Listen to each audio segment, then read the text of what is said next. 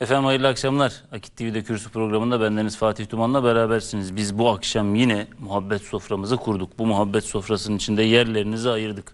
Artık o yerlere size oturup oturmamak sizin elbette tercihiniz ama biz bize düşeni yaptık. Biz muhabbet sofrasını açtık, yerlerinizi hazırladık. E hadi gelin diye davet ettik. Bundan sonra sizin işiniz ama beklediğimizi de bilin. Biz çaylarımızı aldık, sohbet edeceğiz, muhabbet edeceğiz, derdimizi konuşacağız, dertleşeceğiz. Aslına bakarsanız biraz da ee, hani bugünün derken bu çağın diyelim daha doğru olur. Bu çağın şöyle dertleri, şöyle sıkıntıları var ya hani ya dinleyen kimseyi bulamıyoruz. Ya anlatacak kimseyi bulamıyoruz. Ee, aslına bakarsanız bana biraz da şöyle gibi geliyor. Her birimiz böyle şeylerden muzdaribiz ya. Dinleyecek birini bulamıyoruz ama sanki biz de dinlemiyoruz. Hani derdini derdimize derman olacak birini bulamıyoruz ama biz de kimsenin derdine derman olmuyoruz gibi bir dünyanın içinde yaşıyoruz. Hatta bugün mü dün mü e, işte konuşurken arkadaşlarla şöyle bir mesele geçti, şöyle bir konuşma geçti. Yani abi bu çağda yaşıyoruz ama dediler hani birilerini bulamıyoruz. Bence bu çağın en büyük problemlerinden biri eskiler kahtırıcel derlermiş. Hani adam eksikliği, insan eksikliği, insan bulunamayan bir çağdayız. Yani bu çağ öyle bir çağ ki önceden yoksulluk, kıtlık, azlık varmış. Yani insanlar yiyecek, içecek şeyler bulamıyorlarmış ama bu çağın da kendine göre bir kıtlığı, bir yokluğu, bir yoksulluğu var. Bana sorarsanız o da insan yoksulluğu. İnsan bulamıyoruz. Yani insanı kaybediyoruz. Kaybettik hatta. İnsanın olmadığı bir çağda yaşıyoruz. Ve çok üzgünüm ki e, bu yokluk bizi en nihayetinde yok olmaya götürecek bir yokluk. İşte belki bütün bunların üzerinden konuşacağımız bir muhabbet sofrası kurduk şu anda. Biz de bu sofranın içinde Akit TV'de her zaman yaptığımız şey bu biliyorsunuz. Biz programı bir e, tabiri caizse hani o dergahta halka kurarlarmış, sohbet ederlermiş ya da medresede hoca gelir anlatır, talebeler oturur dinlerlermiş ya. İşte onun gibi kurmaya çalışıyoruz. Biz o halkanın içinde muhabbete başlıyoruz. Sizleri de hep beraber her birinizi bekliyoruz. Onun için hafta içi gelen mesajlar için de söyleyeyim bunu özellikle. Çünkü programdan sonra e, çok fazla özellikle sosyal medya üzerinden ben mesaj alıyorum. E, o mesajların pek çoğunda da programla ilgili e, güzel düşünceleriniz var. Eleştirenler de var elbette ki yani şöyle olsaydı böyle olsaydı ama şunu çok net görüyorum ki o samimiyeti fark ettiğinizi e, hissediyorum. Onun için de hepinize teşekkür ediyorum. Memleketin her yerinden hatta yurt dışından da hatta ben de söyleyeyim mesela yarın Almanya'dan gelip bizim programımızı izleyen, her hafta izleyen birileriyle yarın buluşacağız inşallah. Ee, izleyen kardeşlerimiz her yerdeler onu biliyorum. Onun için her birinize teşekkür ediyorum. Peki bugün muhabbeti, bugün bu sohbeti kiminle yapacağız diye bir sorunuz varsa şayet e, zaten tanıyorsunuz biliyorsunuz hocam sağ olsun her davetimize icabet ediyor bizi hiç kırmıyorlar. Ahmet Ağrakçı hocam bizimle. Hocam hoş geldiniz. Hoş bulduk efendim. Teşekkür ederim. İyisinizdir inşallah hocam. Çok şükür elhamdülillah. Allah iyilik, sağlık, sıhhat versin hocam inşallah. Valla sizi görüyoruz, biz seviniyoruz. Ee, hani biz bizeyken söylediğimi burada ekranın önünde de söyleyeyim. Ee, bence bazı şeyleri insanlar bazılarından, bazı insanlardan dinlemeli. O bazı konuları da işte şimdi açacağız o konuları. Onları dinleyecekleri kişilerden biri sizsiniz hocam. Teşekkür Ee, ederim. özellikle şimdi konumuz olduğu için de söylüyorum bunu. Son dönemin içinde yani hatta uzunca bir dönem bu yani çok kısa bir dönem de değil. Her birimizin e, çok küçüğünden çok büyüğüne memleketteki herkesin enteresan bir gündemi oldu. Bilmiyorum daha öncesinde bu kadar mıydı ama herkes siyasetin bir şekilde içinde oldu. Yani siyaset ve siyasi aksiyonlar e, küçüğünden büyüğüne herkesin hayatının içinde gündemi haline geldi. Bu iyi bir şey mi kötü bir şey mi bilmiyorum. Yani hani bununla ilgili bir şey eleştirmek için söylemiyorum ama bu kadar hayatın içinde olması elbette bize bir şeyler katar, bir şeyler öğretir. Ama biraz da böyle sanki bir şeyleri kaçırmamıza da sebep olur gibi bir durum var. Çünkü e, böyle olunca herkes konuşabileceği bir mecra gibi görüyor bu siyasi durumu. Çünkü bakıyorsunuz işte bir tarafta bir seçim var, seçimden sonrası var, öncesinde olacak şeyler ya da yapılan şeyler ya da yapılmasaydı denenler var. Ee, bir de benim şahsi kanaatim e, bizim gibi toplumlarda siyaset de duygusal bir şey. Ve bu duygusallık aslına bakarsanız manevi dinamiklerinden geliyor. Biz de özetle aslına bakarsanız sizinle bugün bu konuyu konuşalım istiyorum. Temel ben başlığını vermiş olayım hocam. Başlığımız aslına bakarsanız şu, ha, onu da göstereyim ben onu atlamayayım. Arkadaşlar da yakından çekerlerse. Ee, hocamın Dava Adamı Olmak kitabı var. Şöyle yaparsam. Heh Egemen. Ben kendime bakıyordum arkadaşlar pardon ya. Egemen gördü ve çekti. Şimdi bunu niye gösteriyorum? Ee, özellikle söylemek zorunda hissediyorum çünkü ben kendimi. Ee, ben yaklaşık 3-4 gündür bu kitabı okuyorum. Hocam sağ olsun daha önceki programlardan birinde ee, bana hediye etmişlerdi. Şimdi progra- programın içinde yaptığımız şeylerin bir kısmı elbette ki yarım kalıyor. Yani konuşuyoruz ama işte bir buçuk iki saatin içinde ne kadarını anlatırsanız bunların pek çoğunu gelen hocalarımız zaten kitaplarında anlatmış oluyorlar. Dava adamı olmak kitabı benim şahsi kanaatim bir okuyucu olarak hatta daha biraz ileri götüreyim bir yayıncı ve yazar olarak da ismiyle de tam müsemma bir kitap. Ee, siz yakından gösterdiniz arkadaşlar. Ben ara ara yine göstereceğim. Şimdi kitabı hem önüme alayım hem anlatayım. Çünkü özellikle hocam bu son sürecin içinde en çok tartışılan konu olduğuna inanıyorum ben. Dava adamı olmak meselesinin. Herkes bir şekilde ya kim bu davanın adamıymış, kim değilmiş. Ya aslında bak biz bunu böyle zannetmiştik ama bu değilmiş. Ya da bu hiç başka biriymiş. Biz aslında da inanmamıştık bu adamı anlamamıştık falan gibi şeylerle esasen dava adamı olmak meselesini tartışıyorlar. Bu dava ne? Bu dava adamı olmak nasıl bir şey vesaire gibi konularla. En başından başlayalım istiyorum. Çünkü bunun elbette ki başlangıcı siyaset. Yani siyaset ve İslamiyet. İslamiyet'te siyasetin yeri. Tabii bu rol model meselesi üzerinden yürüyeceğiz. İslamiyet'te siyasetin yeri meselesiyle başlarsak zaten konu bizi buraya getirecek diye düşünüyorum. Lütfen buyurun hocam. İslamiyet ve siyaset, siyaset deyip başlayalım. Şimdi e, siyaset e, insanın hayatıyla özdeş olan bir olaydır, bir gerçektir. E, Hazreti Adem'den günümüze kadar siyaset vardır. Evet. Siyaset demek e, insanları yönetme sanatı demektir. Veya yönetme mekanizmasıdır siyaset. Şimdi bu e, burada hem yönetenler hem yönetilenler ister istemez işin içinde oluyorlar. E, yönetenler ben bu sorumluluğu üzerime aldım. İnsanları yöneteceğim, insanlara bir e, mutluluk getireceğim, müreffehiyet getireceğim, e, dünya ve ahiretleri için bir zemin hazırlayacağım demek zorundadır. E, s- yönetici, halk da e, yönetilirken bazı beklentiler içerisinde olur. İşte adalet ister, eşitlik ister, efendim müreffehiyet ister, e, bir e, eşit bir paylaşımın gerçekleşmesini ister. E, toplum içerisinde her türlü iyiliğin hakim olmasını, kötülüklerin yok olmasını bekler yönetilenler. E, dolayısıyla baktığımızda e, hani dava adamı olmak diyorsunuz. Dava adamı devlet adamı dava adamı olmalıdır. Eğer devlet adamı dava adamı olmazsa e, ideali olmazsa, fikirleri olmazsa, geleceğe matuf e, düşünceleri olmazsa, halkına dair e, düşünceleri olmazsa iyi bir yönetici olamaz. Ama iyi bir dava adamı e, aynı zamanda devlet adamı olduğu zaman o devlet e, yöneticiliğini dava adamlılığı özellikleriyle yürütür. Doğru. E, bu dava adamı e, bir e, hedefi olan, bir ideali olan dedik. Şimdi e, bunu uygularken de e, böyle önüne gelen e, kimse kolay kolay dava adamı olamıyor. Ve dava adamlılığı e, sadece tabii bir e, şeye e, devlet adamlarına mahsus olan bir iş değildir. Herkesin dava adamı olması gerekir. Hangi meslekte olursa olsun. Hangi e, devletin veya halkın içerisinde hangi kademede bulunuyorsa bulunsun.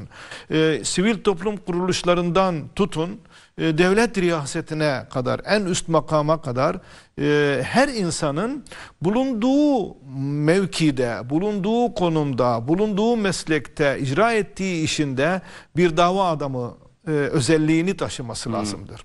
Şimdi tabii bu dava adamının özellikleri üzerinde e, vakit içerisinde durmaya çalışacağız ama e, özetle şöyle söyleyelim. Eğer e, siyaset adamı, siyasi şahsiyet ta Hazreti Peygamber'den günümüze kadar daha önceki dönemler içinde aynı şekilde bunu genelleştirebiliriz. Bu Hazreti İbrahim'de de var, Hazreti Musa'da var, Hazreti e, Şuayb'ta var, Yusuf'ta var. Hepsinde e, bir yöneticilik vasfından dolayı e, o mesuliyetlerini yüklendikleri kitleye karşı e, bir e, sorumluluk duygusu taşırlar. Bu sorumluluk duygusunu en iyi yürütebilmek için de o e, düşüncelerindeki idealleri gerçekleştirmek için bir hedefe kilitlenirler. O hedefe kilitlendikleri zaman e, ister istemez başarıya doğru adım adım ilerlerler. Ama e, sadece bir e, yönetici olmak için, e, o makamı elde etmek için başa geçen insanlar ise e, bir düşünceye sahip değildir. E, gününü gün etmek, eğlenmek, devletin imkanlarından istifade etmek, Ya da makam, mansıp, para, pul, mal, mülk Aynen. ise neyse. Ee, e, şimdi o e, tabii e, malı ve mülkü kullanma özellikleri de veya daha doğrusu davranış biçimleri de dava adamının özellikleri içerisindedir. O dava adamı olan insan öncelikle Allah'a samimi bir imanla bağlı olmalıdır. Ee, salih bir amel sahibi olmalıdır. Toplumu ıslah etme noktasında gayret sahibi olmalıdır. Cenab-ı Allah bize e, bu noktada e, yöneticilerin her şeyden evvel iyi bir mümin olmalarını ister. İyi bir mümin ancak toplumu yönetirken e, o imanı gereği Allah'tan korkarak yöneteceği için mükemmel bir yöneticilik sergiler. İşte Hazreti Peygamber bunu birçok hadisinde yol göstermiş. Bunu kendisinden sonra gelen e, dört halife e, bunu çok iyi uygulamış. Daha sonrakiler içerisinde de bunu çok iyi uygulayanlar vardır. E, Hazreti Ömer'in uygulamaları hepimizin önünde. E, Hazreti e, Al- Ali'nin, Hazreti Osman'ın, Ebu Bekir'in, daha sonra Ömer İbni Abdülaziz'in, daha sonra e, Yezid İbni Velid'in, daha sonra Abbasilerde El Muhtedi'nin, El Zahir bi Emrillah'ın ve ta günümüze kadar gelirsek işte Osmanlı hükümdarlarının çoğunda ve Abdülhamid'e gelinceye kadar. Bu e, devlet adamlarının en e, bariz özelliği Allah'a olan bağlılıkladır. Ee, Allah'a iman ediyor, salih amel işliyorsa Cenab-ı Allah onlara öyle bir istihlaf, öyle bir hilafet makamı e, vaat ediyor ki diyor ki sizden evvelkilere nasıl e, bu e, konuda başarılı olmaları için iman ettiklerinden ve salih amel işlediklerinden dolayı onları yeryüzünde halifeler kıldıysak siz de aynı şekilde Allah'a iman eder, e, salih amel işlerseniz daha evvelkilere sizden öncekilere e, verdiğimiz bu imkanı size de veririz. Ve sizi yeryüzünde yöneticiler yaparız, halifeler yaparız ki yeryüzünün halifesi demek Allah'ın emir ve yasaklarını, İslam nizamını, İslam'ın bütününü yeryüzünde uygulama misyonunu yüklenen kişi demektir. İşte diyor ki Cenab-ı Allah eğer şu özelliklere sahip olursanız sizden evvelkileri verdiğimiz imkan gibi onlar dini ayakta tuttular. Dini yücelttiler. Dine sahip çıktılar. Ee, ve bunlar başarılı oldular. Siz de işte Hazreti Ömer gibi, Ömer İbni Abdülaziz gibi, Hazreti e, e, Osman gibi ve diğerleri gibi başarılı olmak istiyorsanız kesinlikle aynı yolu izleyin ki biz de sizin dininizi, sahip olduğunuz dininizi bu şekilde yüceltelim. Ve bu dini yeryüzüne sizin vasıtanız ile hakim kılalım diyor Cenab-ı Allah'ın bize e, özellikle e, Nur suresi 55. ayette bize söylediği ve emrettiği e, devlet adamının özellikleri burada. İkinci bir şey de yine İsra suresi 16. ayette e, bir toplum kendi özüne hakim olup da özünü değiştirmezse Cenab-ı Allah onları imtihan eder. Nasıl? Ee, eğer bir toplumun helak edilmesi gerekiyorsa, helak edilmeyi hak ediyorsa, o toplum içerisindeki müreffehiyet içerisinde olanları, refah e, içerisinde, debdebe içerisinde yaşayanları öyle bir şekilde yönlendiririz ki onlar azgınlığa doğru giderler. Azarlar, Allah'a isyan ederler ve bundan dolayı da o toplumu çökertirler. Şimdi bu da nedir? İsraftan tutun, ahlaksızlığa varıncaya kadar. Eğer toplumun o üst ekonomik yönden üst düzeyini oluşturan müreffeh kitle, e, zengin kitle biraz daha avami tabiriyle Evet. ifade edersek, o kitle eğer kendine çeki düzen vermezse, mütevazi olmazsa, sade yaşama, yaşamayı ilke edinmezse, lüks ve debdebe içerisinde olursa, her türlü isyan içerisinde olursa, içkisiyle, kumarıyla, ahlaksızlığıyla, bilmem eğlenceleriyle vesairesiyle böyle bir hayat tarzına doğru sürüklenirse Allah diyor ki e, e, o toplumu helak ederiz. Ve izâ eradna en nuhlike qaryatan amarna mutrafiha fefesaku fiha. Orada fitne ve fesat yararlar. Fısk ve fucur içerisinde olurlar. Fefesaku fiha. O dünyada, toplumda, bulundukları toplumu fıska uğratırlar. E, ahlaksızlığa doğru sürüklerler. Ve bundan dolayı da fedemmernaha tedmira. Biz de o toplumu yok ederiz diyor Cenab-ı Allah. Onun için e, siyaset siyasetle uğraşanların, siyasi e, adamlarımızın, e, devlet adamlarımızın hangi kademede olursa olsun, devlet adamı dediğimiz zaman sadece e, en üstteki e, devlet başkanını kastetmiyoruz.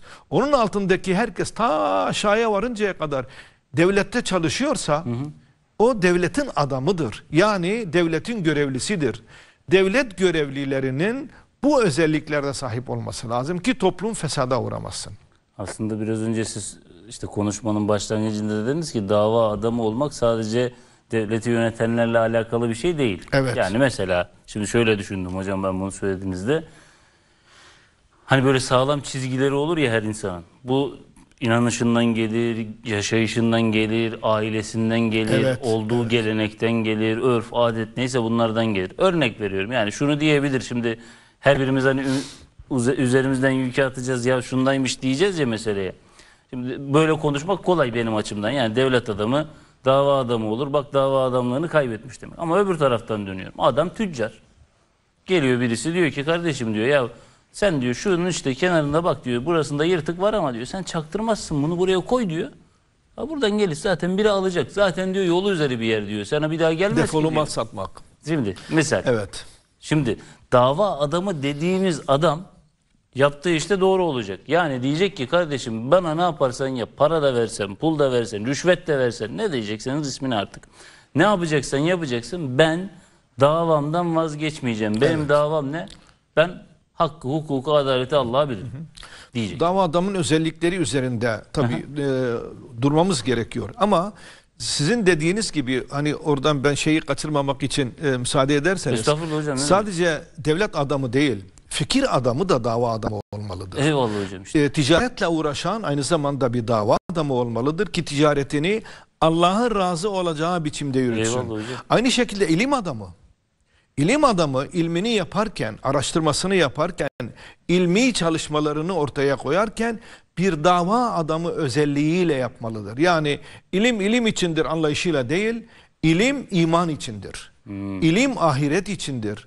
İnsanları ahirette mutlu etmek için dünyada nasıl rahat etmelerini sağlamak mümkün diye düşünecek ilim adamı ve çalışmalarını bu veriler üzerinde ortaya koyacaktır. Her mümin mü- her mümin dava adamı olmalıdır. Dava adamıdır daha doğrusu. Ee, dediğimiz gibi o son derece önemli bugün baktığımızda e, ticaret erbabının e, eğer dava adamı değilse, ahiret korkusu yoksa, dürüstlükten uzak kalmışsa insanları öyle bir aldatır ki Hazreti Peygamber'in kendilerini uyardığı hadisine e, düçar olurlar. Men gashşena leyse minna. Bizi aldatan bizden değildir diyor Resulullah Aleyhisselatü Vesselam. Aslında bence Bu- her tarafa asacaksınız hocam. Özellikle bunu bütün dükkanlara asmak lazım. Evet. Bütün e, ticaret odalarına asmak, asmak lazım.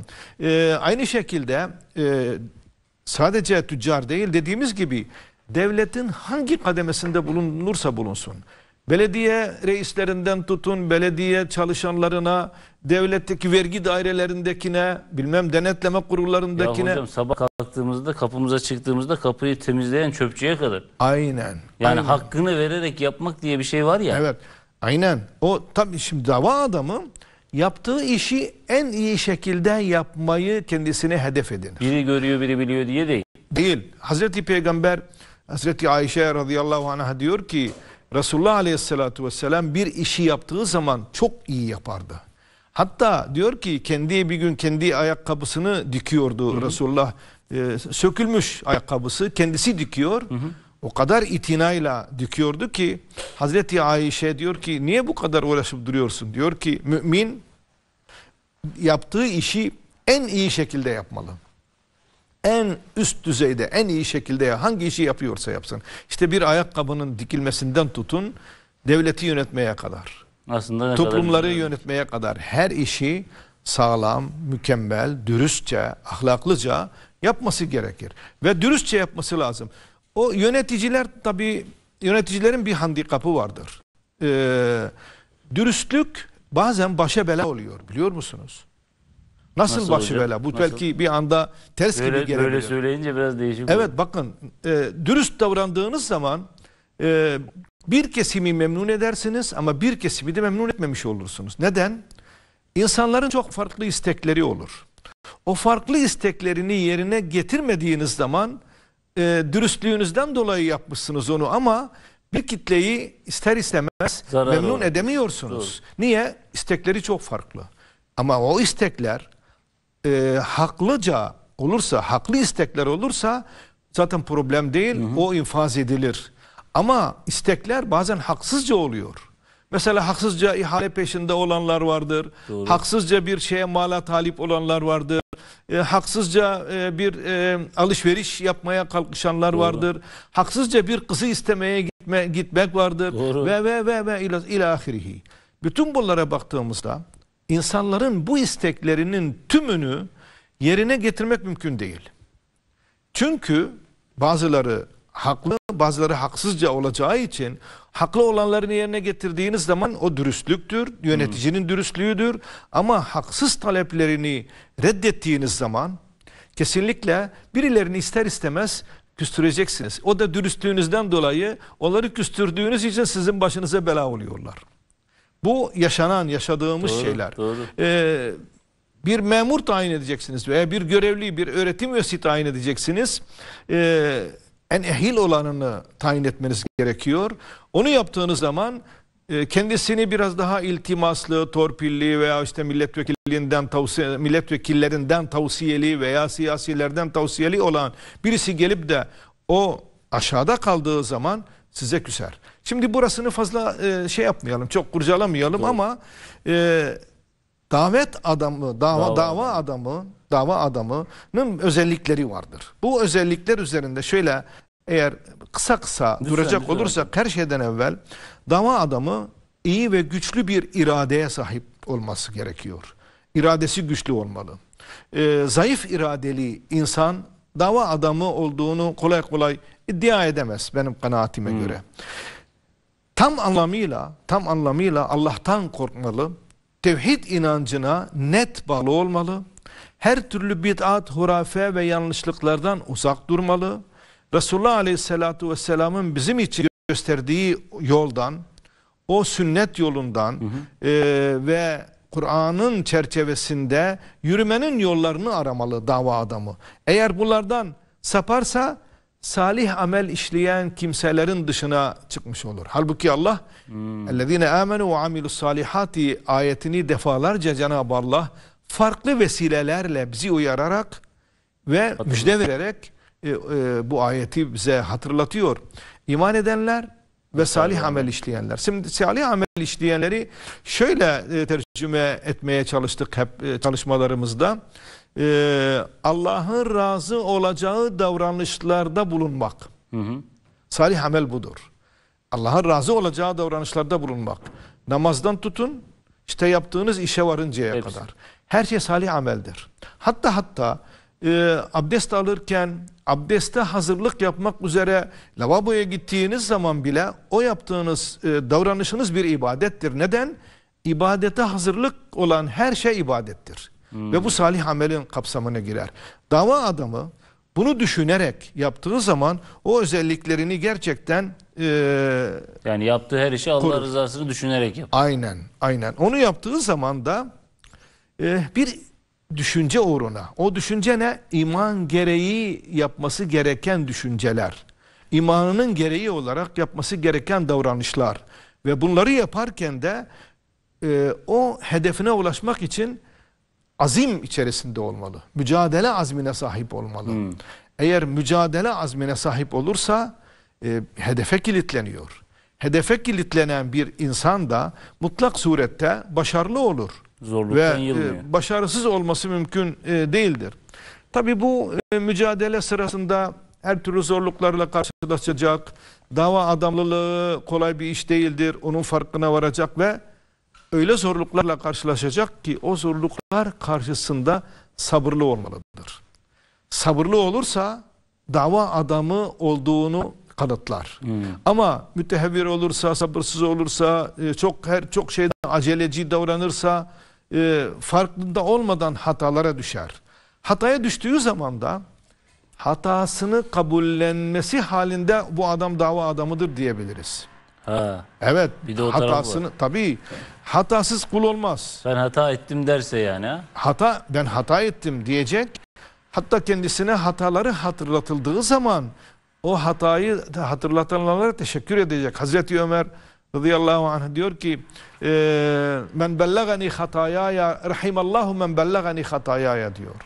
Bana hatalarımı söyleyene Allah rahmet ve merhamet eylesin. Ey Ömer senin hatan şudur denildiği zaman Hazreti Ömer o insana dua etmiştir. Ve bu son derece önemli bir e, husustur. E, tarihimizde çok önemli böyle çok zeki insanlar var.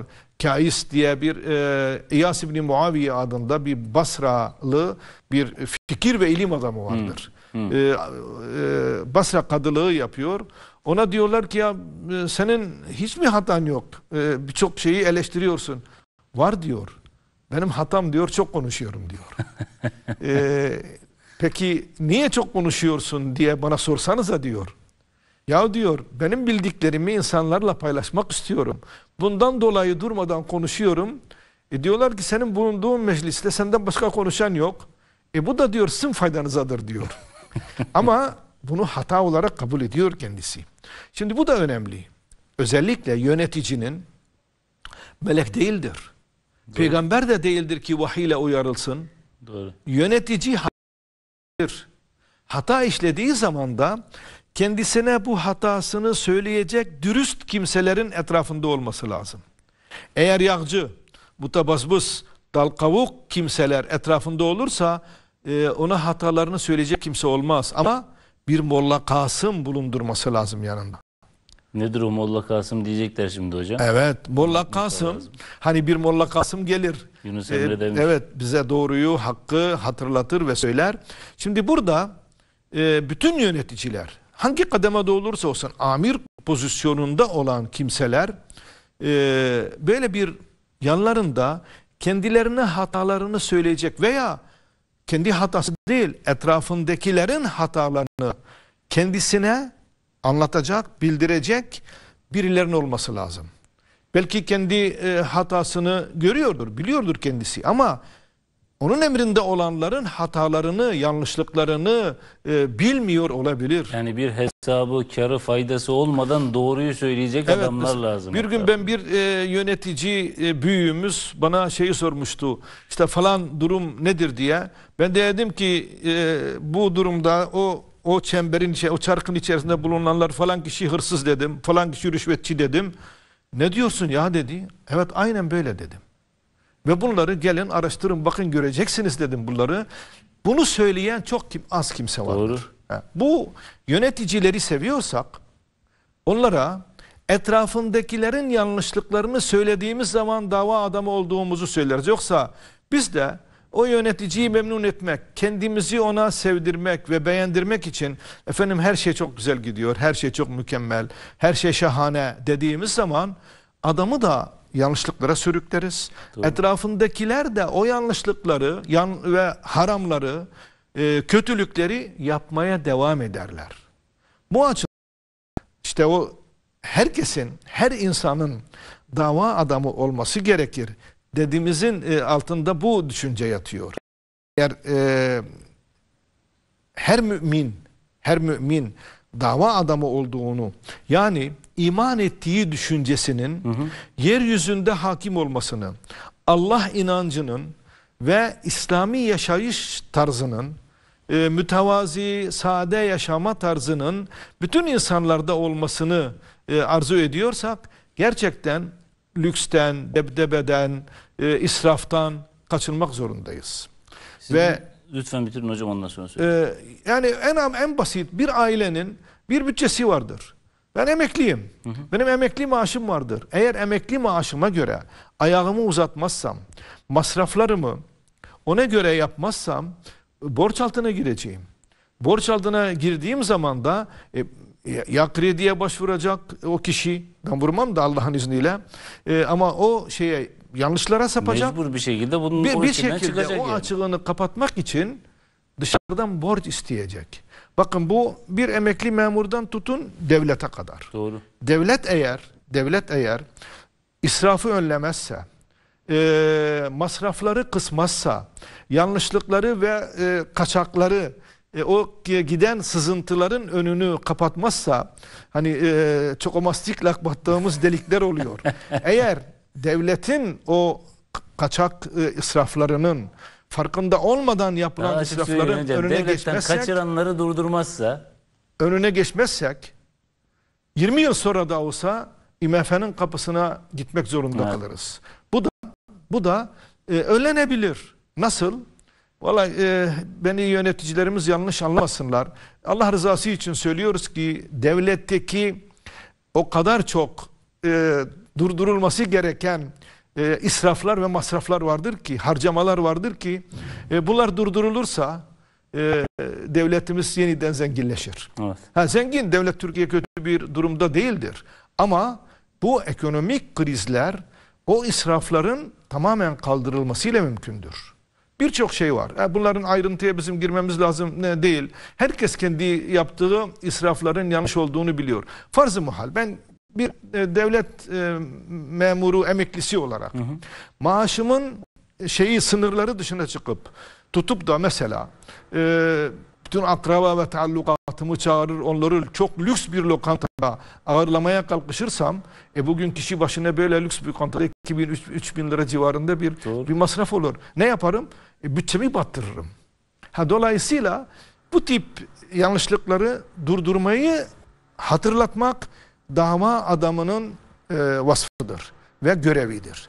E, bunlar üzerinde e, aslında e, durmamız lazımdır ve ha bir şey daha dava adamı çalışkan olmalı. Hı. Sadece yaptığı işi güzel yapmasının yanında çok çok çalışmalı. Sürekli çalışmalı. Oturduğu zaman o yaptığı işi sanki e, bitmeyecekmiş gibi sürekli onun yanında durmaktan ziyade bir an evvel ben bu işi nasıl bitiririm heyecanını yaşayacak. Ve çalışkanlığını ortaya koyacak ki o zaman olur. E, bir diğer husus e, yine devlet adamından tutun e, aşağıya kadar e, hangi kademede bulunur bulursa bulunsun başarılı olması için cesur olmalı Cesur olursa e, ve Allah'tan korkarsa insanlardan asla korkmaz. Çünkü Allah'tan korkan bir e, mümin insanlardan korkmaz. Her türlü e, şeye tehlikeye rağmen o cesurdur ve cesur davranmak zorundadır. فَلَا تَخَافُنْ وَلَا تَخَافُ النَّاسَ وَلَا تَخْشَوُ النَّاسَ وَخْشَوْنِ diyor Cenab-ı Allah. İnsanlardan korkmayın, benden korkun. Bakın bu ayeti hatırlayan her bir mümin, her bir dava adamı insanlardan değil ben Allah'tan korkarım dediği zaman insanların e, kendisine e, korkarım takınacakları tavırların hiçbirisi kendisini etkilemek her şey ona vız gelir. Çünkü Allah'tan korkuyor. Ve men yetevekkel alallahi fehuve hasbuh. Kim Allah'a tevekkül ederse Allah onun yardımcısıdır. Şeye bakıyoruz bakın bu Allah Allah'a tevekkül ederse Allah onun yardımcısıdır. Şeye bakıyoruz bakın bu Gazze'li e, mümin insanlara bakıyoruz.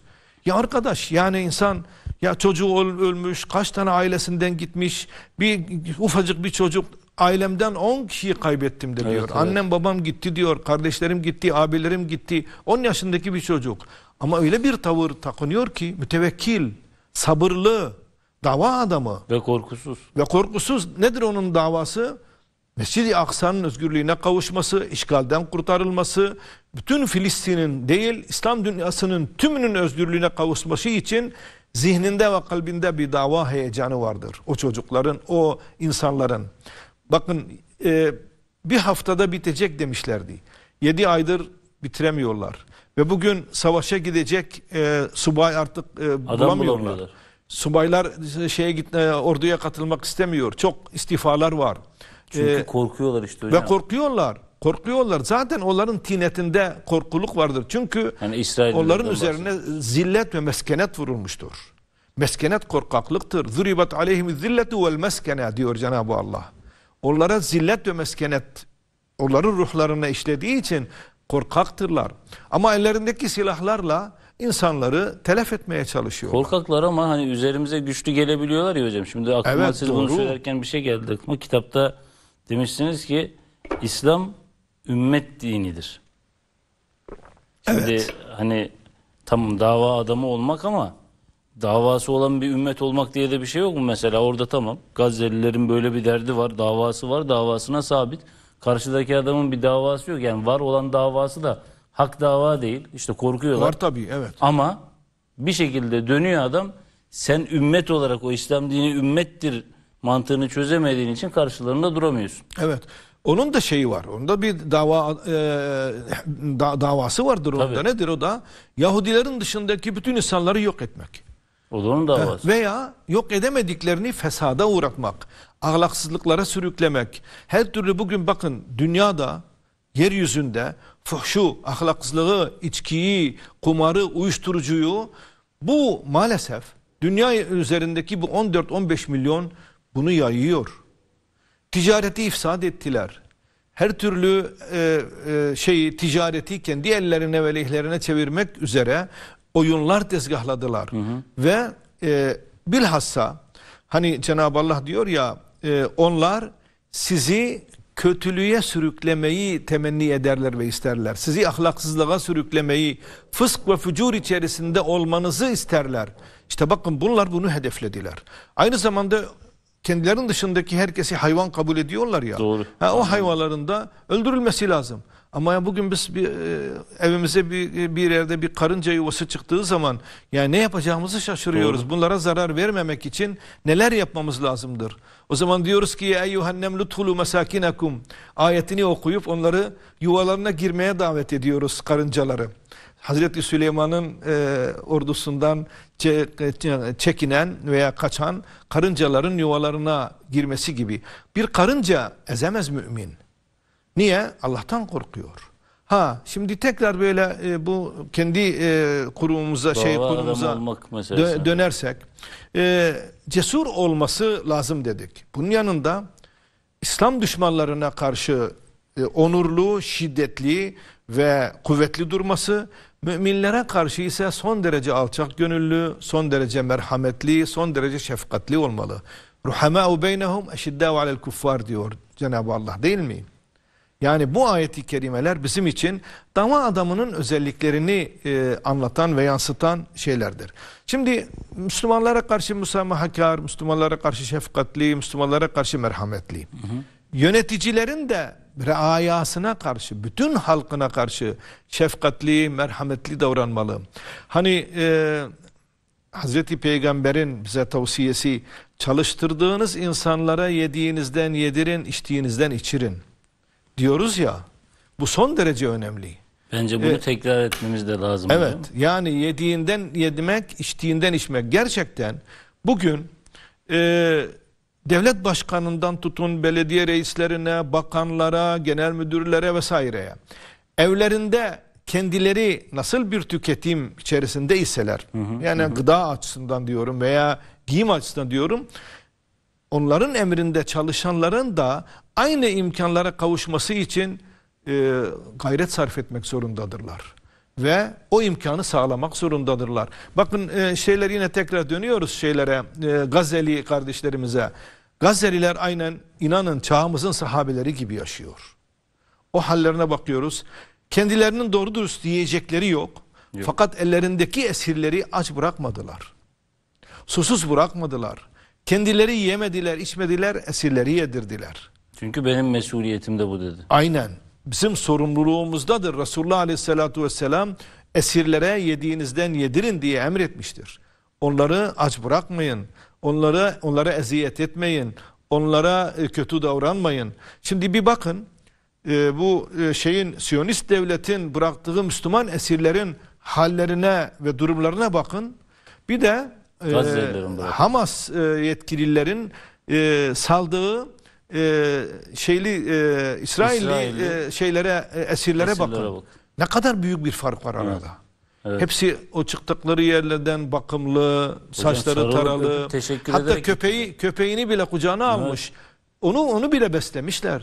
Düşünüyor musunuz? Öbür taraftan çıkan o e, zindanlardan çıkan Müslümanlar ise ya aklını kaybetmiş, ya bir tarafı yanmış, ya gözü gitmiş, ya sakatlanmış, ya hastalanmış, ya böbreklerini kaybetmiş.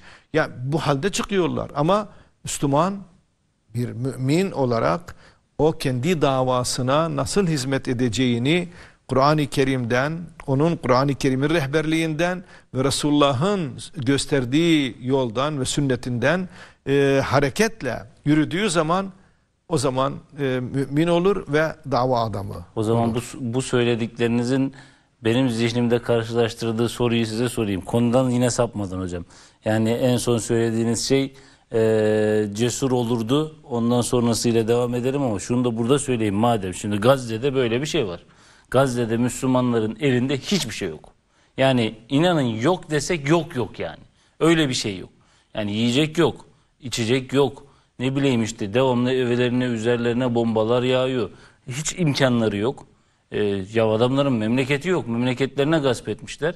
Ama bütün bunların içinde davaları var. Evet. Gerçekten davaları var. Aynen. Bunu hani şöyle düşünmeyin. Hiç kimse düşünmesin. Yani bu böyle slogan falan değil yani. Dünyanın her yerinde Müslüman olsun olmayasın bütün insanlar bunu gördü. Bu adamların bir derdi, davası, mefkuresi var. Ve ne bu dediler. Evet. Şimdi bu adamlar bütün bu yokluğun içindeki oradaki Gazze'li kardeşlerimizin bir davası var. Ama hiç para, pul, ma hiçbir şeyleri yok hocam. Dönüyorum. Yani bunu biraz hem eleştiri için söylüyorum hem genel bir yorum yapmaya çalışıyorum.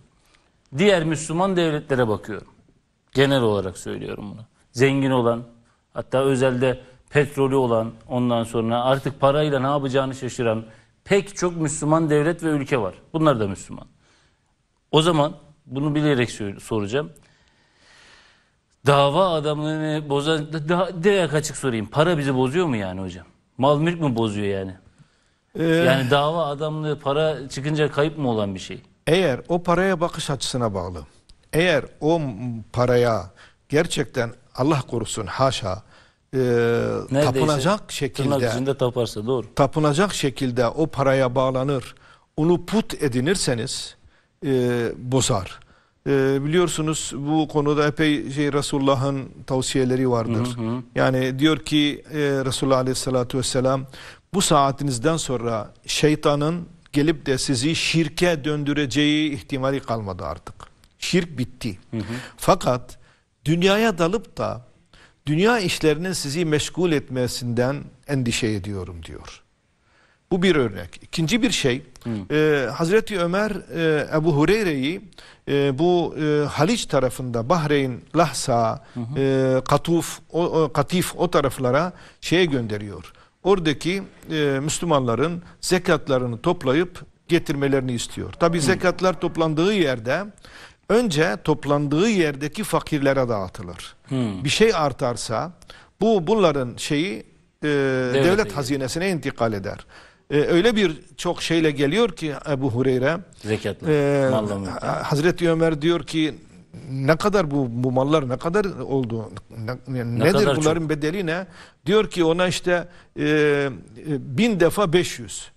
Sen ne söylediğini bilmiyorsun. Galiba yolda çok yorgunsun diyor. Git uyu sonra yarın konuşuruz diyor. Ertesi gün gerçekten yığınlarla malın geldiğini. Aynı şekilde Kadisiye Savaşı'ndan sonra o e, yüzyılların e, imparatorluğu olan Sasani e, e, s- Pers İmparatorluğu. İmparatorluğu'nun hazineleri Müslümanların elinde eline intikal edince. Hazreti Ömer bu mallar karşısında şunu ağlamaya başlıyor. Abdurrahman İbni Avf ona diyor ki niye ağlıyorsun? Diyor ki e, bu malların bizi bozmasından korkuyorum diyor. Ve gerçekten de bu malların bozduğu kimseler oluyor mu? sahabe de olsa olmuştur. Yani o dört halife devrinden sonraki yaşayanların bazıları, hepsi değil tabii bir kısmı E tabii ki maalesef o mal ve mülke dalarak yanlışlıklara düşmüşlerdir. Lüks ve debdebevi bir saray, saray hayatı oluşturmuşlardır. Ama öbür taraftan da hala tevazu içerisinde yaşayan, e, takva içerisinde yaşayan, sade yaşayan, e, mümin şahsiyete uygun bir şekilde yaşayan sahabe, tabi'in ve tebai tabi'in nesli ve bugünümüze kadar devam etmiştir. Ee, bir ara bizim arkadaşlarımızdan böyle bir grup Sade Yaşayanlar Derneği diye bir dernek kurmuşlardı. E, gerçekten de sade yaşıyorlardı. Ha çoğu memur veya çalışandı. Maaşla çalışan insanlar ama e, insanoğlu e, isterse e, kendi hayatını biraz daha lüksleştirmek için uğraşır. Tabii. Ama ama e, burada sade yaşamak önemlidir. O sade yaşamayı yemeğinizden ve e, giyineceğinizden e, dolayı e, dikkatlice kullanırsanız kesinlikle e, sade yaşarsınız ve e, o sizin şeyleriniz, zır rızkınız da size yeter. Yani Mühim olan müminin rızkına kani olmasıdır. Eğer rızkına kani olursa para onu bozmaz. Ya rızkı nedir? İnsanın yediği, içtiğidir ve giydiğidir. Başka Doğru bir şey mi var? Yani başka bir şey yoktur. Ama bunları yaparken de gayet tabii ki ha imkanın olanı harama girmeyecek şekilde, israfa girmeyecek şekilde kullanması halinde bir sıkıntı olmaz. Hocam bence orada karıştırdığımız iki yani şeyler var. Hani bizim bunun bu, burası için söylemiyorum evet ama genel olarak karışıla, karışan kavramlar var. Yani biz mesela siz bunları anlattığınız zaman insanlar şöyle bir şey zannediyor. E ne yapalım o zaman? İşte Müslümanın parası da mı olmasın? Ondan sonra ne bileyim işte şöyle arabası da mı olmasın? Hayır, Şöyle evi de mi olmasın falan. Yani Müslüman zengin olmaz mı o zaman? Gibi bir cümleye çeviriyor. Hayır adam. öyle değil. Bakın Cenab-ı Allah e, yukimuna salate ve yu'tune zekat ayetlerini e, do- yaklaşık 90 yerde Kur'an-ı Kerim'de bunu zikretmiştir. E, yu'tune zekat e, şeyi tabiri çok daha fazla ama bir yerde ve e, ve zekati failun diyor. Bakın burada Cenab-ı Allah çok farklı bir fiil kullanmıştır. Ve zekati failun. Zekatı vermek üzere faaliyette bulunan ve zekatı zekat verebilecek kıvama gelmek üzere gayret eden, çalışan, helalından iş yapan, ticaret yapan, para kazanan ve zekat ver, verecek kıvama gelmesini teşvik ediyor Cenab-ı Allah. Ha, yani o zaman Müslüman zekat vermek için zengin olmaya Aynen. çalışır. Aynen. Ve zekati failun. Oradaki failun bakın ve zekati yu'tun demiyor. Ve yu'tun zekat var. Ama zekati failun ayeti çok farklı bir şekilde dediğimiz gibi çalışmayı, para kazanmayı ve o paranın da zekatını vermeyi, sadakasını vermeyi, infakını yapacak kıvama gelmeli. Ha şeye gelelim asıl sizin sorduğunuz soruya. Şimdi maalesef bugün e, Gazze bu durumdayken İslam dünyasında birçok yerde fakirlik diz boyu iken tabir caizse altın kazanlarla yemek pişiren e, kesimler de vardır. Sofralarındaki o tab- tabakları şeyleri hepsi altından olan var. Kaşıkları altından olanlar vardır. Onlar yarın öbür gün bunun hesabını çok kötü vereceklerdir. Ve Cenab-ı Allah onları görüyor. O israfları görüyor. Hatta bir ara şöyle bir sosyal medyada belki e, siz de rastlamışsınızdır. O Gazze'de ellerinde kırık dökük eski pörsümüş tabakları ve tencereleriyle yemek e, sırasını beklerken ve kaplarını uzatırken o hallerini gösteren bir manzara. Bunun yanında maalesef Suudi Arabistan'da e, şeyin sarayı kralın sarayında bir ziyafet verileceğinde altı kişinin birlikte taşıdığı altı tane halkasından birlikte taşıdıkları büyük bir şeyi e, Sahan kazanı sahnı taşıyorlar ve kapağını açtıkları zaman o içindeki yemekler vesaire zaten malum bu kaplar altın biliyor musunuz? Altından. Yani Cenab-ı Allah bunları soracak. Nerede kaybettik sorusunun Evet. cevabı o. Evet Hocam işte araya bakın girelim para işte arkadaşlar. böyle boz paranın kimi bozduğu belli. Evet. Kimi bozmadığı da belli. Aslında Bence işin sırrı orada ve bence burası da çok ince ayrıntı. Burayı kesin konuşmamız lazım. Bir araya gidelim diyor arkadaşlar. Aradan sonra devam edelim. Biz bunu konuşmaya devam edeceğiz. Sen şunun da farkındayım. Bizi izleyenlerin arasından mesajlardan görüyorum. Ya işte tam burası dediğiniz yerler bugüne doğru da geleceğiz. Yani geleceğiz. O nerede neyi kaybettiğimizi de konuşacağız.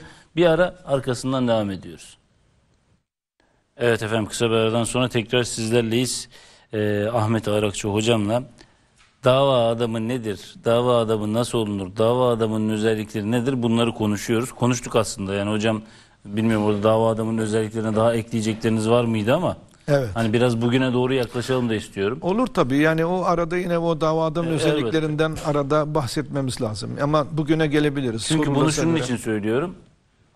Yani biz genel olarak tarihi o akışa baktığımızda işte siz Peygamber Efendimiz'den başlayıp ki herhangi biri herhangi bir dava herhangi bir derdim var ya da herhangi yaptığım bir şeyi ben hakkıyla yapacağım diyecekse örnek alacak şey Peygamber Efendimiz. Ne olursa olsun. Yani az evvel işte siz de söylediniz. Adam esnafsa da böyle, öğretmense de böyle, işte ilim adamıysa da böyle, sanatkarsa da böyle vesaire vesaire. Ama bütün bu söylediklerinizi aslına bakarsanız tabi bu benim fikrim bu arada örnek alıp da ya evet böyle olur deyip de zirveye ulaştırdığımız bir dönemimiz var bizim. Yani Çok dönemlerimiz var. o zaman siz söyleyin. Çok dönemlerimiz hangileri ben merak ediyorum. Mesela yani o, o hani toplumun tamamı davayla şekillenmiş diyebileceğimiz. Yani şimdi ben böyle deyince aklıma şu geldiği için söyledim bunu. Yani bir tarafta bakıyorsunuz sanatkar diyorsunuz. işte Mimar Sinan gibi bir adamı çıkarıyorsunuz davasıyla dertlenip yapıyor. Bir tarafta devlet adamı diyorsunuz işte daha öncesini söylüyorum.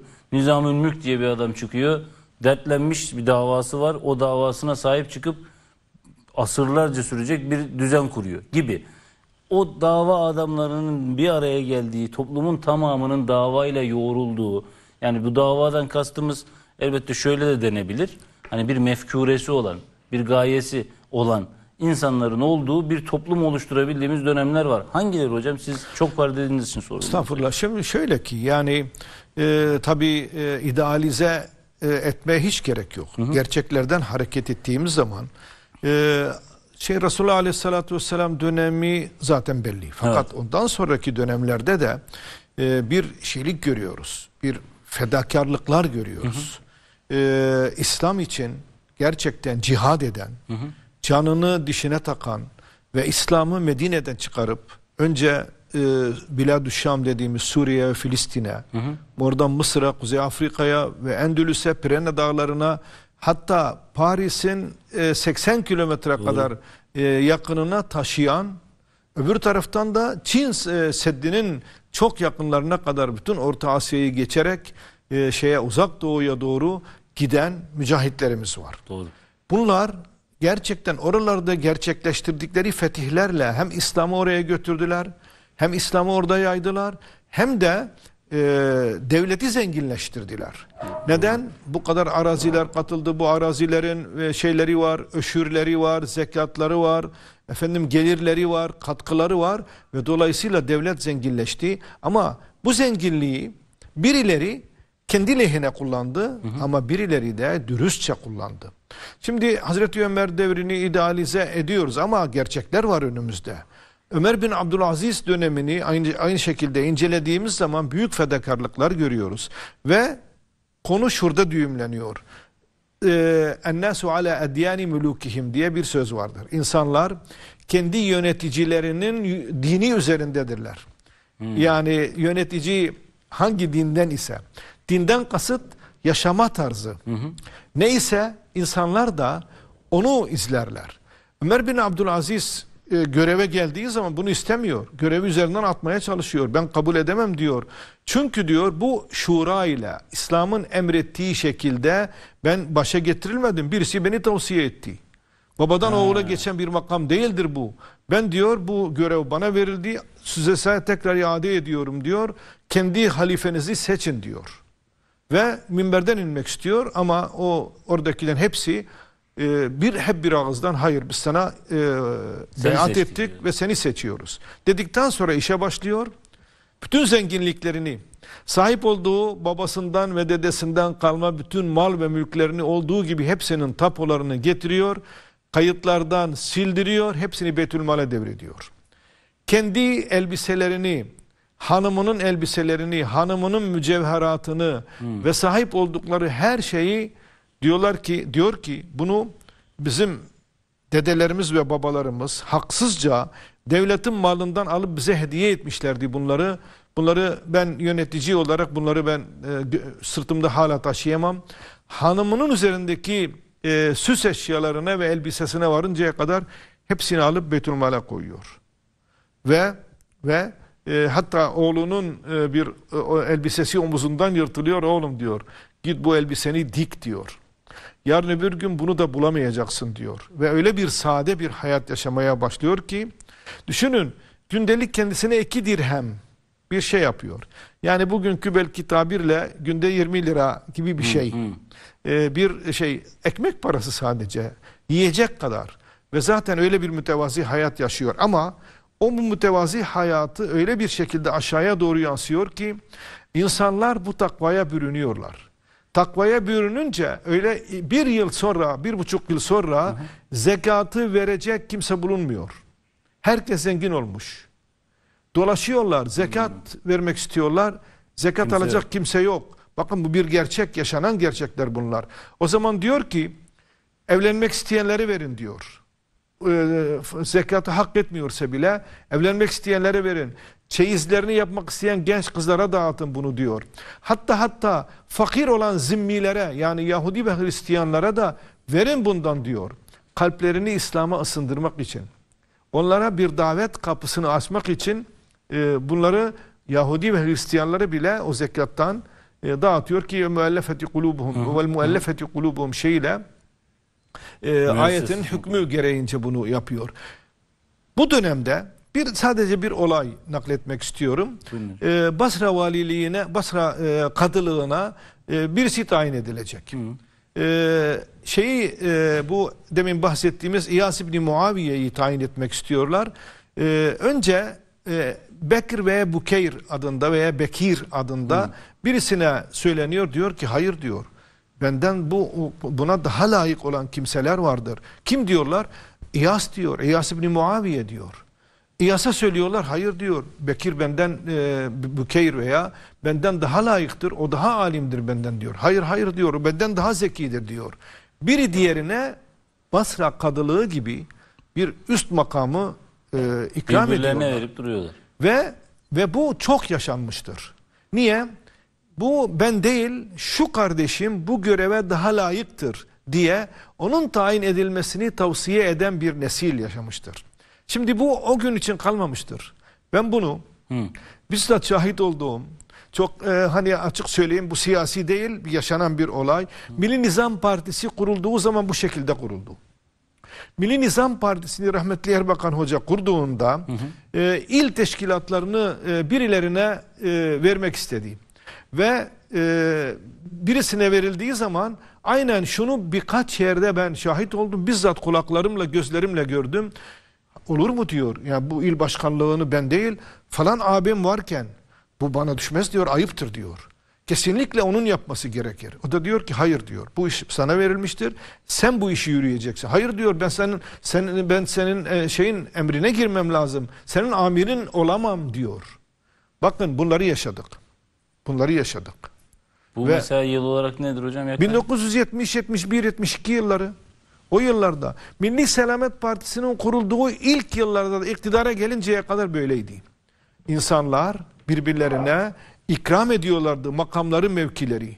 Ama öyle bir gün geldi ki iktidar, e, makam, mevki, imkanlar e, bizi kardeşimizin ayağına çelme takma noktasına getirdi. Ve düşünün iki kardeş bir yere aday adayı oluyor. Kendi öz kardeşini ikisi aday olmuş, aday adayı olmuş. Kendi öz kardeşini yeriyor, zemmediyor, kötülüyor. Kendisi aday, Aday olmak için. olabilmek için. Şimdi ondan buraya Peki ne oldu o arada işte hocam? işte adam dava adamı özelliğimizi kaybettik. Bu siyasi hareket başladığı zaman bu harekete katılmak bir fedakarlıktı. Orada münafıklık yok. Mekke'de olduğu gibi. Mekke'de bir tane münafık bulamazsınız. Mekke döneminde. Yani Hazreti Peygamber İslam'ı anlatıp da insanları İslam'a davet ettiği zaman dayak vardı, işkence vardı, hakaret vardı, e, her türlü zulüm vardı, mahrumiyet vardı. Doğru. E, güneşte e, işkence görme vardı. vardı. Üzerine büyük taşlar konma vardı. Bilal inletiliyor. Boynundan Öldürülme bağlatılıp vardı. sokaklarda dolaştırılıyor. Doğru. Böyle bir ortamda insanlar samimidir, dava sahibidir. Ve davalarına sahip çıkarlar. Orada bir tane Mekke döneminde Hazreti Peygamber'in e, İkra bismi rabbikellezi halak ayetini insanlara okuyup vahyi tebliğ ettiği günden hicret eden son sahabiye kadar. Mekke'de bir tane münafık yok. Neden? Menfaat yok, mal yok, mülk yok vesaire. E, O zaman ben şöyle anlıyorum bundan. Hani yokluk var yani zor bir zaman ve doğal olarak bu zorluğun içinde, bu yokluğun içinde, bu sıkıntının içinde insanların arasından sağlam adamlar çıkarılma ve çıkarma ihtimali daha yüksek. Evet. Yalnız şöyle. Yani bu demek değildir ki efendim işte bu şeylik olmasın, e, makamlar olmasın, devlet olmasın, zenginlik olmasın, para olmasın değil. Değil. Şimdi o günden bugüne yavaş yavaş geldiğimiz zaman aşınmalar oldu. Dava adamları, dava adamları o 1900'te 60'lı yıllarda hatta daha da o zaman çok daha farklıydı. O zaman siyasi hareket yok. Sadece sivil toplum hareketi vardı. Bir iki tane. O zamanlar ben yine e, herhangi bir Hocam e, siz de bu oluşumların içindeydiniz. Doğru bu mu? için aynen içindeydik. Şimdi ben o zaman bunu niye söyledim? Sizi genel olarak hani ya profesör bu adam, ilim adamı bu adam diye görüyorlar ya tabii öylesiniz de yani bunu demek için söylemiyorum. Ama bunun yanında hocamın bir aksiyoner tarafı var. Yani siz her ne kadar bunu bilmiyorum tabii bilenler de vardır da bilmiyor ya da duymamış olsanız da Evet. hocam o kavganın tam aslında orta yerindeydi. Bakın 60'lı yıllarda Türkiye'de düzenin alternatifi tek bir hareket vardı. Risale-i Nur hareketiydi. Düzenin alternatifi. e, düzeni benimsememiş, düzene karşı Ona duran, muhalif. sisteme muhalif olan hareket olarak o vardı. Tarikatlar vardı, şeyler vardı ama onlar sadece kendi e, tekkeleri içerisinde takva ve zühd içerisinde yaşamayı, herhangi bir e, harekete e, katılmayı e, çok fazla uygun görmemiş olan kesimlerdi. Muttaki mümin insanlar. Ayrı bir şey. Ama ama öyle bir noktaya geldi ki e, maalesef bir zaman sonra e, devlet bazı im- şeyleri, kitleleri kendini tarafına çekmeye başladı ve kendi potasına eritince özelliklerin bir kısmı kayboldu. Şeye geldiğimiz zaman Erbakan Hoca'nın siyasi hareketiyle başlayan o milli nizam, milli selametin ilk dönemleri e, 80 darbesine kadar samimiyet vardı ve dava adamları vardı. Dava adamları birbirlerine işte makam ve mevkiyi ikram ediyorlardı. E, Ben e, hatıratımın birinci kitabında 1977 seçimleriyle ilgili bir hatıra anlattım. Nedir hocam? E, kısaca şöyle bir geçeyim. E, o zaman e, liste başında rahmetli Fehim Adak olurdu her zaman Mardin'den. İkinci sırada bir birisi daha ilave edilecek. Çünkü ikinci milletvekili hatta üçüncü milletvekili çıkarma ihtimali vardı 77 seçimlerinde. E, bir e, abimizi aday gösterdiler. Biz gençlik olarak itiraz ettik. Kesinlikle olmaz dedik. Böyle e, şeyli okumuş bu kadar insan varken, bu kadar şey varken bu abi değil de bu abi olsun diye tavsiyelerimiz oldu. O zaman biz e, 25, 26, 27 yaşlarımızdayız. E, bu itirazımızı yaptığımız abiyle bir gün yolda e, caddede Yani karşılaştık. sizin reddettiğiniz kişi. Evet itiraz ettiğimiz Ha. olmasın dediğimiz abimiz Allah rahmet eylesin geçen iki sene önce vefat etti. Ee, beni görünce hemen yolunu değiştirip bana doğru geldi. Ee, dedi ki Ahmet Bey dedi e, nüfus cüzdanının yanında mı? O zaman defterdi nüfus cüzdanları yanımızda taşıyamazdık. Yok dedim evdedir. Git getir gel dedi. Hayırdır dedim. Dedi senin yaşını büyüteceğim. O zaman ben 27 yaşındaydım. Senin yaşın 30 yaşında milletvekili adayı olabiliyorsunuz. Senin yaşını büyüteceğim. Mahkeme masrafları, avukat masrafları benden. Seni ben 30 yaşına e, yazdırıp seni benim yerime ikinci sırada seni milletvekili adayı olman için bütün imkanlarımı kullanacağım dedi. Şimdi düşünün e, bu adam zengin birisi, ağa, itibarlı, iyi bir ağa. Ve vekil adayı Dedim yani. ki, dedim ki ağam dedim yani bu böyle şey olur mu? Size karşı bizim saygımız vardır. Ama biz kendi düşüncelerimizi söyledik bu konuda. Hayır dedi. biliyorum sen bu itirazı ilk yapan sensin. Bunu sen hak ediyorsun dedi. Senin ben değil senin milletvekili olman lazım dedi. Ve o zaman kendisi işte 45-50 yaşlarında ben e, 27 yaşındayım. Babamdan büyük belki veya babam yaşında. Şimdi bakın böyle fedakarlıklar vardı ve böyle yaklaşımlar vardı. Biz daha layık birisi var o olsun diye e, itiraz ediyoruz. O itiraz ettiğimiz kişi de diyor ki ben değil gel sen ol diyor. Ve samimiyetle bunu söylüyor. Yani niye beni eleştirdiniz? Hayır benim beni niye eleştiriyorsunuz? Takoz koydunuz falan Ya yok. Kimsiniz oğlum siz çoluk çocuksunuz. Demiyor. Siz- e, demiyordu. Niye? Ortada bir dava vardı. O davayı 70'li yıllarda sırtlanmamız ve bugüne taşımamız gerekiyordu. O günün damarı bugüne kadar e, taşındı. Taşıyanlar var. Taşıyanlar var ama e, beni mazur görsünler ve affetsinler e, yöneticilerimiz son 10 10 yılda o damara sahip olan o damarı taşıyanlar yavaş yavaş geriye çekildi. Geriye çekildi ve siyasete e, bir başkaları gelip dava adamlılığıyla hiç ilgisi olmayan kimseler öne çıktı ve evet başarılar devam etti. Bir yere geldi geldi geldi E, geldik 31 Mart 2024 yılında o samimi damarı çok yakından biliyorum. Samimi damarı e, taşıyan ve bugüne kadar getirenlerin önemli bir kısmı sandığa gitmedi. O dava adamlıklarına rağmen. Bunu üzülerek, Niye peki hocam? içim yanarak söylüyorum. Neden? E, yanlışlıkları görüyorlar. Yani çünkü dava davayı kaybettik diye Ee, düşündükleri belki için. bundan dolayı bu söylediklerimden dolayı bilmiyorum. Birileri bana bana çok kızar da zarar verir mi? Önemli değil. Ama bunu Allah rızası için söylememiz lazımdı. Yanlışlıklar vardı. Aday yanlışlıkları vardı. Yanlış adayların yanlışlıkları vardı. Ve bu yanlışlıkları dile getirdiğimiz halde bakın falan kişi şöyle yapıyor falan kişinin şu yanlışlığı vardır. Bakın elimizde belgeler vardır. Yapmayın, etmeyin, eylemeyin dediğimiz halde dönüp dönüp aynı adamlar, aynı adamlar aday olunca ve o makamlara getirilmek üzere aday yapılınca samimi insanlar şunu söylediler. Dediler ki ya biz bu adama gidip oy verdiğimiz zaman vebal altında olacağız. Bizim davamız ne olacak? Ta birinci günden Milli Nizam Partisi'nin kurulduğu günlerden o günün gençliği kimdi biliyor musunuz? Milli Türk Talebe Birliği mensupları olan gençler idik biz. Ve milli nizamı kurarken hepimiz o heyecanla o partinin kurulması için çalıştık. Ee, Türkiye'de gençlik kolları Ankara, İstanbul, Konya bu gibi büyük şehirlerde vardı. Belki dördüncü, beşinci şehir Mardin'de biz gençlik kollarını kurduk ve başkanlığını ben yaptım. Mardin Milli Nizam Partisi Gençlik Kolları Başkanlığı ve etrafımızdaki yanımızdaki arkadaşlarımızın tümü tümü o dava heyecanıyla bugüne kadar yaşayanlar var ve o nesil inanın bozmadı.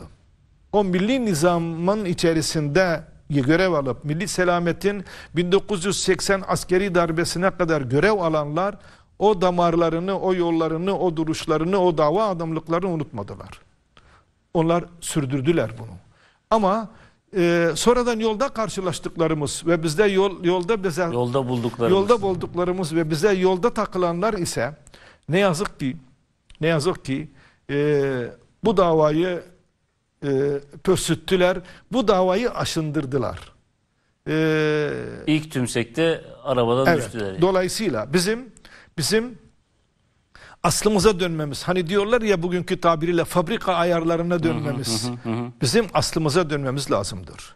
Bizim mümin olarak Allah'a inanan, ahirete inanan, Allah'tan korkan ve bu dava için fedakarlıklarda bulunan, bu dava için gerçekten fedakarlıkta bulunmuş, bedel ödemiş olan insanlara ihtiyacımız vardır. Yolda bulduklarımız değil, korkak olanlar değil, menfaati olanlar değil, ihale almak için partiye gelenler veya hükümette yer alanlar değil, zengin olmak için değil, rüşvet bulmak için değil, rüşvet almaya gelenler maalesef e, çok kötü örnekleri vardır. Ve bundan dolayı görevden alınıp atıldılar, e, bir kısmı cezalandırıldı, bir kısmı kenara atıldı ama neden sonra? Neden sonra? Şimdi bu açıdan e, bunları e, tekrar yeniden gözden geçirmek, davayı yeniden aslına, rayına oturtmak mümkün. Hiçbir zaman zor değil. Bakın şeyden sonra dört halifeden Hazreti Ali radıyallahu anh'tan sonra Muaviye başa geçince 60 yıl müddetle Emevi saltanatı her tarafı perişan ediyor. Doğru. Toplum bozuluyor. Muaviye saray oluşturuyor, ziyafetler veriyor, israflar yapıyor. Şeyden e, ganimetlerden kendisine istediklerini ayırıyor. E, sarayda cariyeler vardır. İlahirihi. 60 yıl böyle gidiyor. Ama 60 yılın sonunda Ömer bin Abdülaziz geliyor. Ömer bin Abdülaziz geldikten sonra aynen Hazreti Ömer'in dönemini tekrar yeniden iki buçuk yıl dahi olsa tekrar yaşanıyor. İki buçuk yıl müddet içerisinde kurtla kuzu beraber e, otlayacak şekilde 60 yılı temizliyor yani. 60 yılın bütün günahlarını, yanlışlıklarını, her şeylerini bir tarafa atıyor ve iki buçuk yılda. Neden? Önce kendisini düzeltiyor. Demin söylediğimiz gibi. Sağlam, samimi bir mümin olarak. Şeye mektup yazıyor e, Medine'deki alimlere. Kendi hocalarına Salih bin Kaysan'a yazıyor. Kasım İbni Muhammed İbni Ebi Bekre yazıyor. e, Enes İbni Malik'e yazıyor.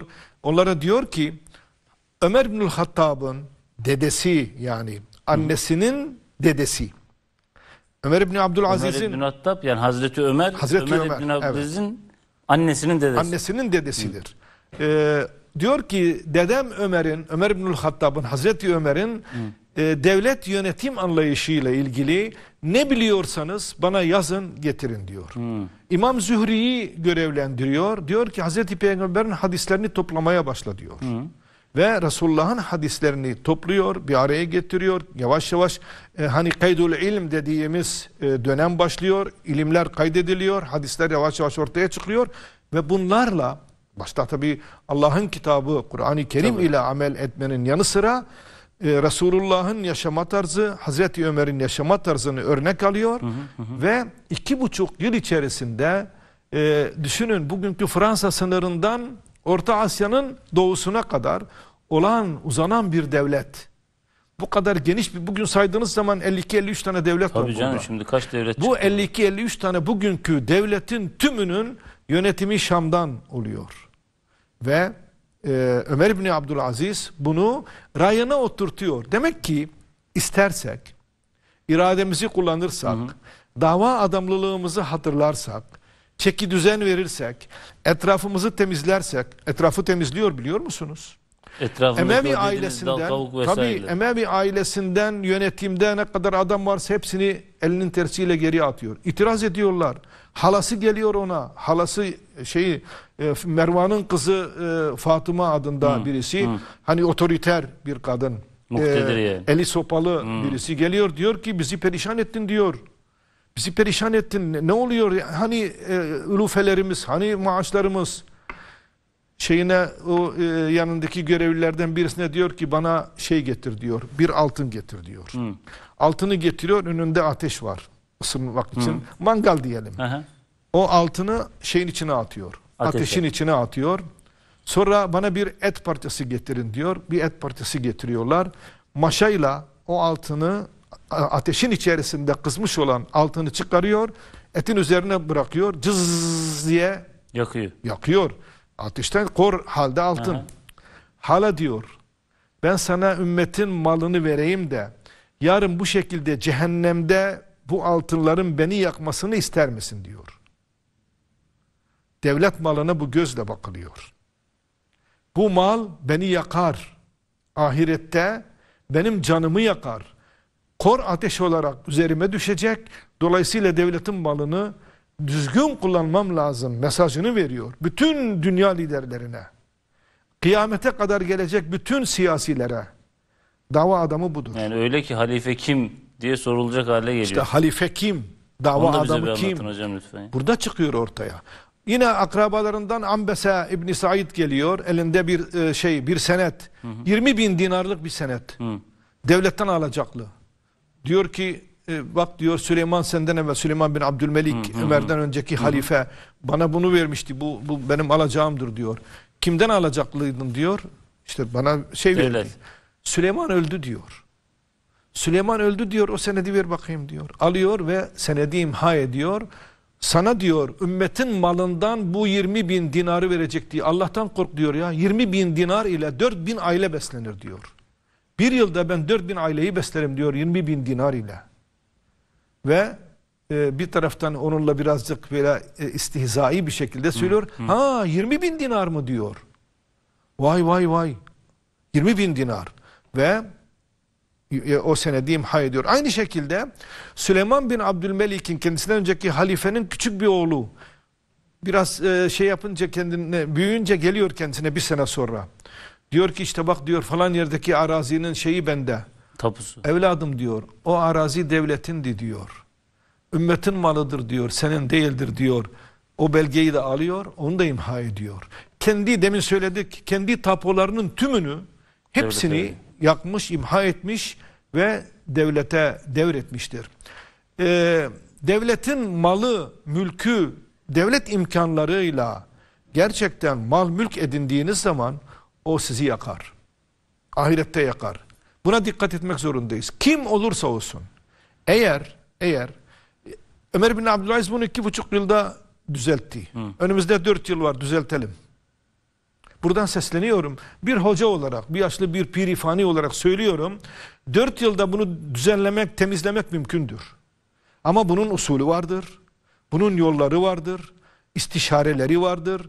Danışmaları vardır. Dava adamının en önemli özelliği istişare yapmalıdır. İstişare yapılmıyor demiyorum. Ama istişarenin de kimlerle yapılması gerektiğini de Hmm. gayet tabii ki bilmek gerekir. Bu noktada ehil insanlarla hakkı ve doğruyu söyleyecek dava adamlarıyla istişare ettiğiniz zaman yanılmazsınız. Dava adamı da kendisiyle istişare eden kimseyi yanıltmaz.